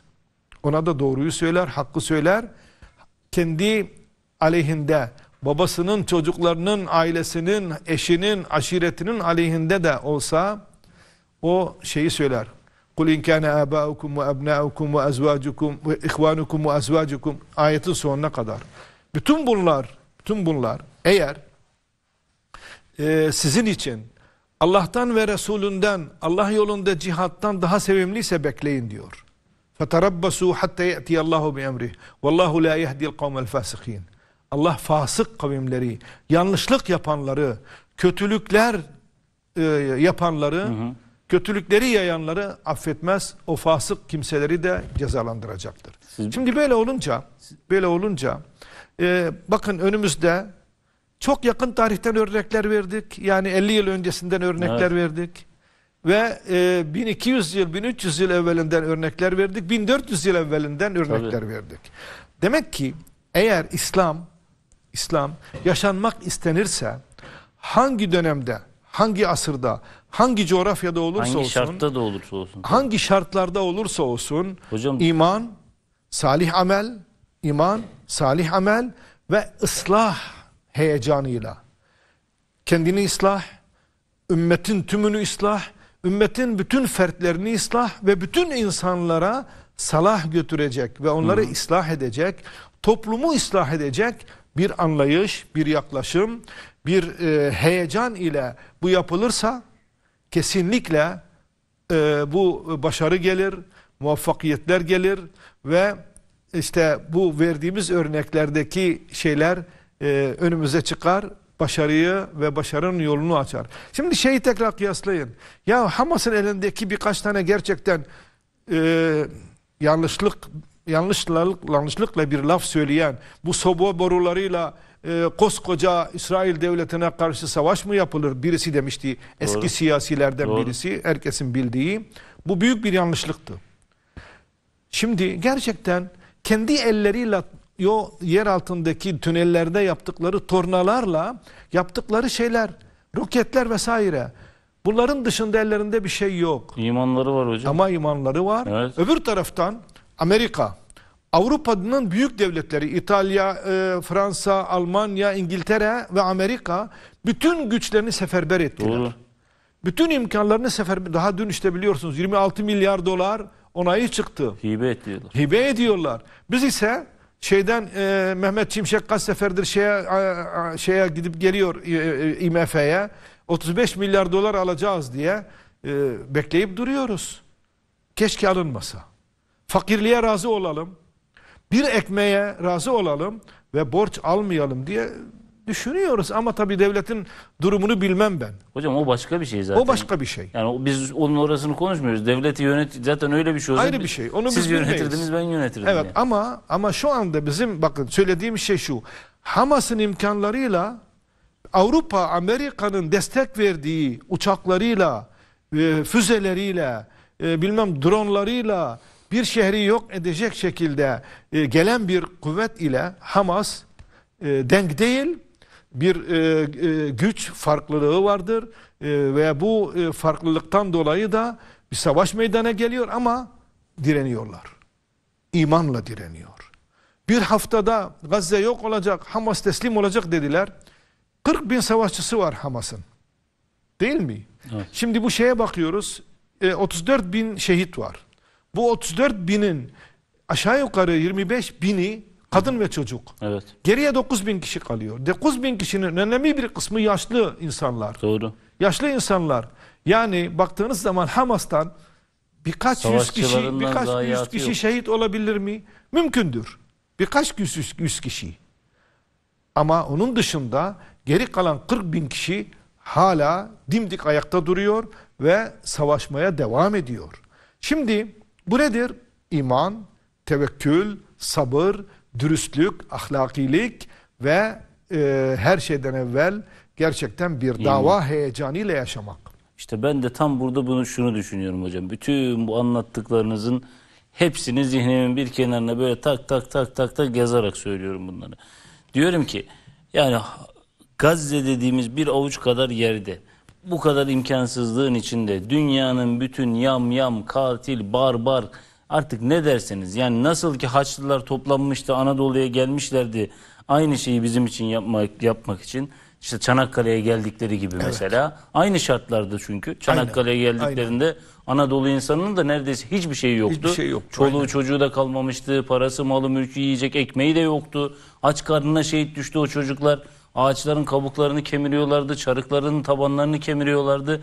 Buna rağmen bir karşı koyuş, bir inanç gösterdiler. Hatta yani şimdi her birimizin bildiği şeyler ama bunlar hikaye değil. Yetiş ya Muhammed diye ağlayan çocuklar vardı ve bunun buna karşılık aldılar alacakları şeyi. Şimdi orada da aynısı var.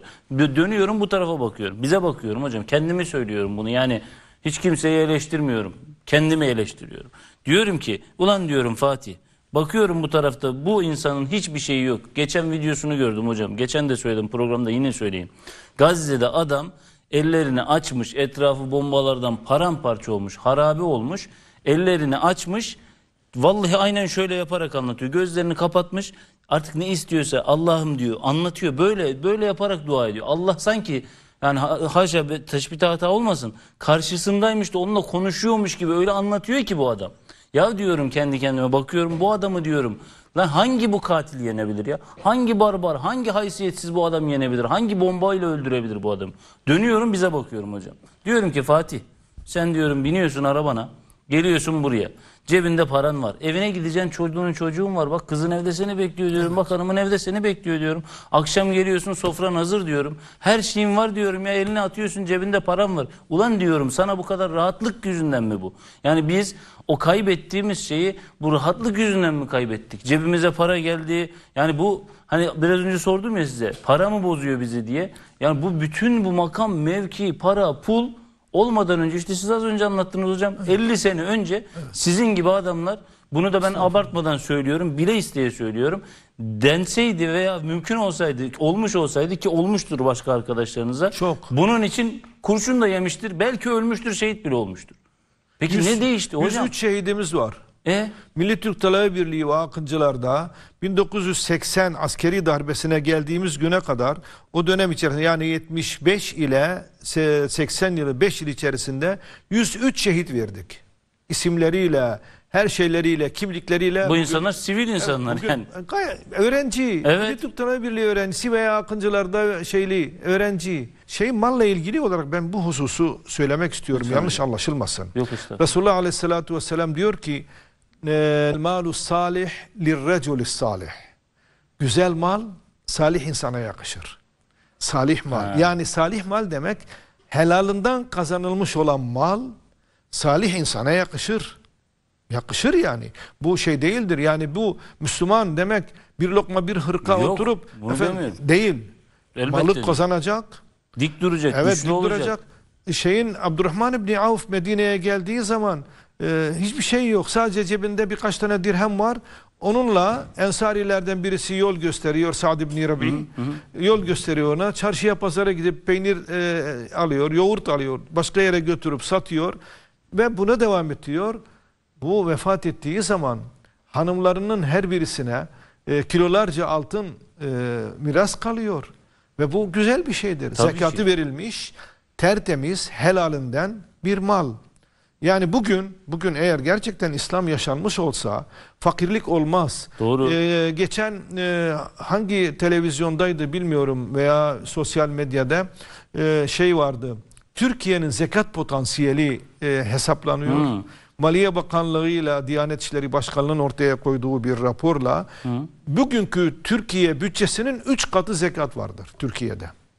Ama Ama bunun kaçta kaçı veriliyor? Eğer bu zekatın, bu zekatın tümü verilecek olsa ya ülkedeki o sirkülasyon hocam öyle bir var ya, dönecek bu, ki bu büyük bir şey yani. Şu an söylediğiniz öyle. Evet. Bence mu- muazzam bir tespit bu şu anda. şeyin sirkülasyonu olacak. Neden? Bende 40 bin lira var. Hiç olmayan kimsede hemen bin lira oluyor. Evet. Ama sıfırdan bin liraya yükseliyor. Ve düşünün bu e, her 40 bin lirada bin lira e, zekat verildiği zaman ve insanlara bu ulaştığı zaman herkes zekatını verdiği zaman kesinlikle e, bu ülkede fakir kalmaz. Ben ona inanıyorum. Şimdi bu İslam'ın yaşanması. Bakın dedik ya tüccar da e, dava adamı olmalı. Eğer tüccar dava adamı olursa ki böyleleri vardır Allah'a binlerce ki var, şükürler olsun. Zekatlarını son kuruşuna kadar fazlasıyla veriyorlar. Hatta Hazreti Ali'nin bir sözü var biliyorsunuz. Yüzde iki buçuk yani kırkta bir cimrilerin zekatıdır diyor. Cimrilerin zekatıdır. Hadi bunun üzerine biraz çıkmak lazım. Yani sadece yüzde iki buçuk e, değil de yüzde üçe çıkmak lazım. Çıkıldığı zaman inanın kendiliğinden geliyor. Bereket kendiliğinden yağıyor. O zekatı verdiğiniz zaman hemen birkaç gün içerisinde Cenab-ı Allah ummadığınız yerden e, size bir rızık gönderiyor. E, böyle olunca e, İslam'ın yaşanması, o fedakarlıkların, o e, cesaretin, o e, mümin insanın üstlendiği o misyon ile, güçlü iradeyle, sab- sabırla ve tevekkülle bu dava ilerler.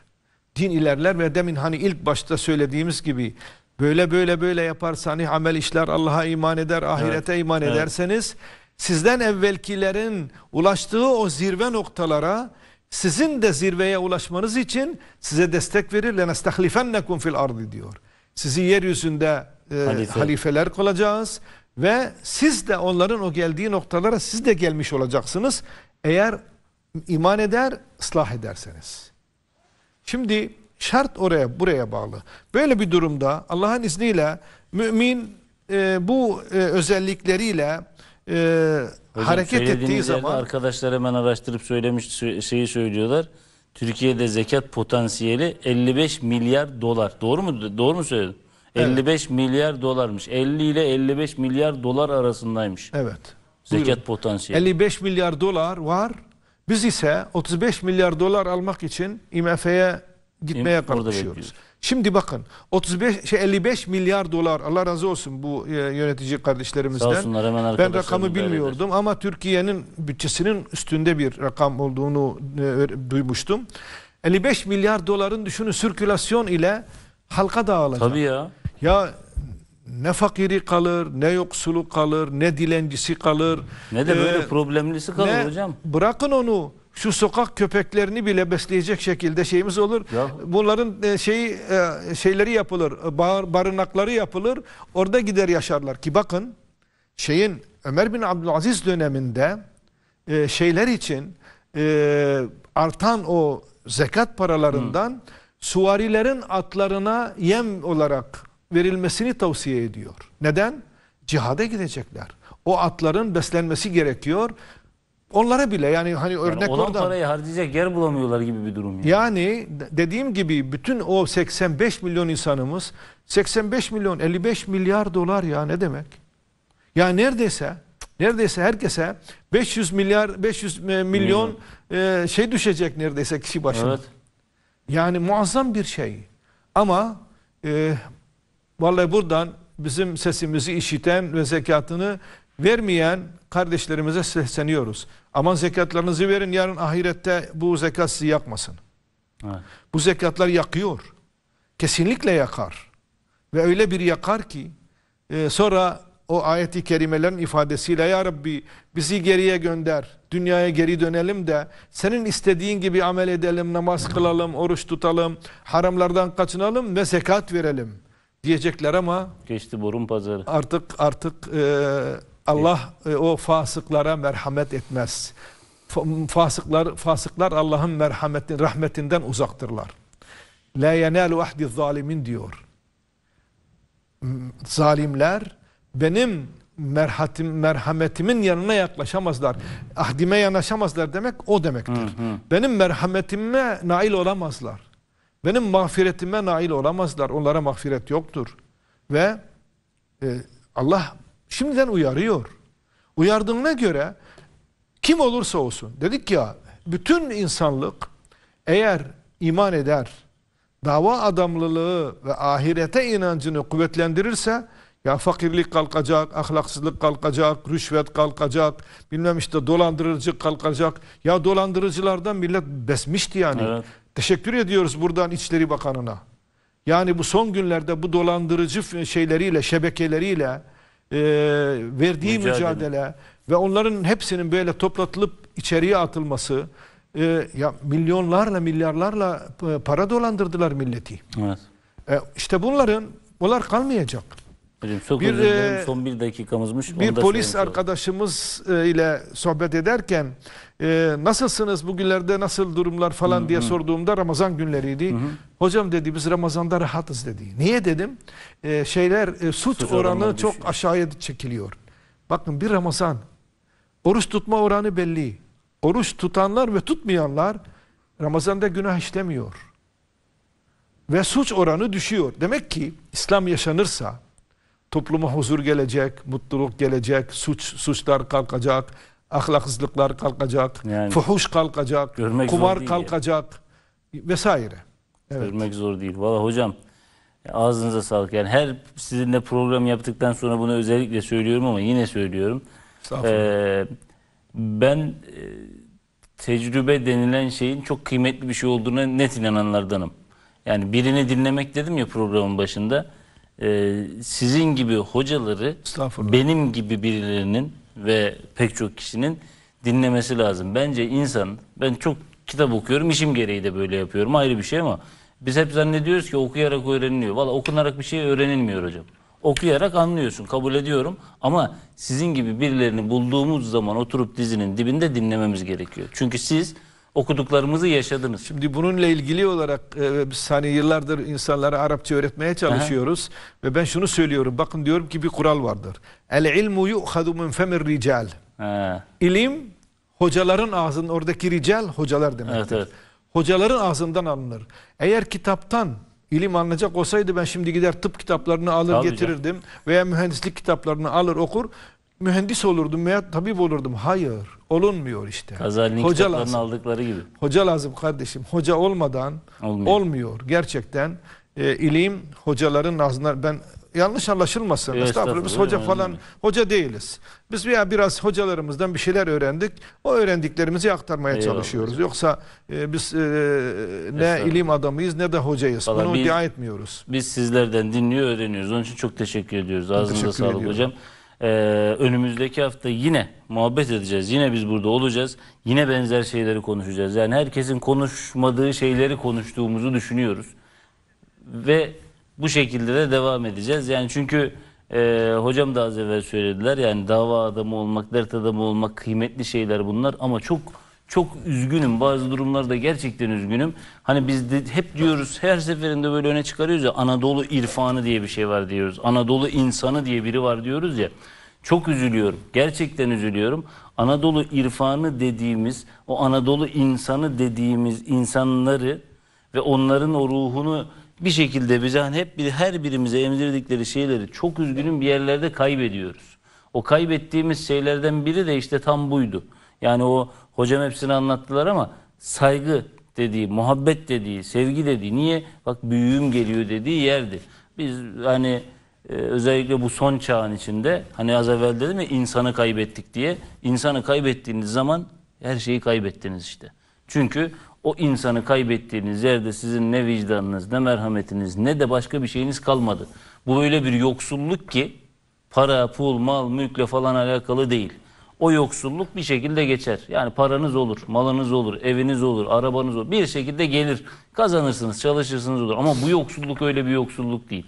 Bu insanın yoksulluğu ve insan yoksa hiçbir şey kalmıyor geriye. İnsanı kaybederseniz geriye başka hiçbir şey kalmayacak. İşte biz bugün o dava adamlarını kaybettik demeyeyim ama azalttık en azından. Var olanların da kıymetini bilemiyoruz. Yani ehli hünerin kıymetini bilmek de, kadrini bilmek de hünerdir demişler. İşte o hünere de sahip olmak gerekir diye düşünüyorum. Programın da sonuna geldik zaten. Önümüzdeki hafta yine burada olacağız. Yine sohbet edeceğiz, yine muhabbet edeceğiz. Yine kıymetli misafirlerimiz olacak. İnşallah siz de orada olursunuz. Orada olursanız e, seviniyoruz yani. Güzel oluyor, fena olmuyor. O zamana kadar muhabbetle kalın. Hayırlı akşamlar efendim.